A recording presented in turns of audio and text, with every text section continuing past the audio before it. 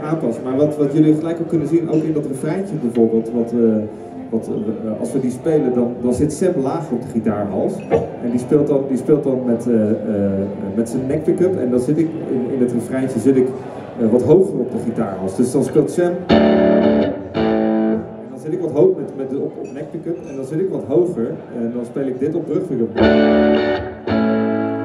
eigenlijk al gelijk een soort van op een hele natuurlijke manier die twee gitaarpartijen uit elkaar getrokken. Want je wil niet dat je allebei hetzelfde doet, tenzij dat een effect uh, is waar je voor wilt gaan. Dus uh, voor een hele dikke riff of iets dergelijks. Maar je wil, je wil niet dat, dat, dat de oren van iedereen direct moe worden, omdat iedereen hetzelfde doet. En we willen ook weer niet degene die Hammond speelt in de weg zitten. Precies, precies. Ja.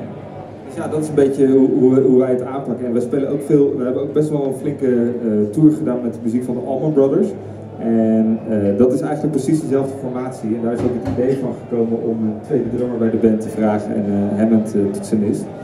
En dat is ook, ook twee, twee keer drums. En um, ja, dat, als je de oude platen van, van de Allman Brothers luistert, dan hebben ze ook een soort van een hele. Er zit heel weinig gitaar, of heel, heel erg weinig bas in die gitaarsounds. En, dat zit, ze zitten elkaar echt niet in de weg. En je hoort ook heel erg een soort van het verschil. De een zit op een neck pick-up, de ander zit op terug pick-up, de ander zit weer op. Uh, op het middenstandje bijvoorbeeld. En dat, dat werkt erg lekker. Ja.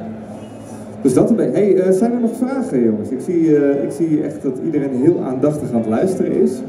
Of durven jullie niet? Zo eng zijn we niet, toch? Nou ja. Heel stil. Het is echt heel stil, hè? Willen jullie nog een liedje horen dan? Of zullen wij dan eens even gaan denken wat we gaan spelen?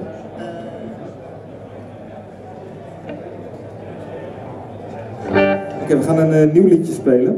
En, dat is een liedje wat wij een paar jaar geleden hebben geschreven in de tourbus.